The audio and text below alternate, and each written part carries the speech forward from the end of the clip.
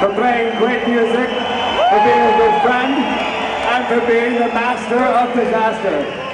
Thank you, Sven. Happy birthday, Sven. Thank you for everybody for always the support of techno music. Thank you.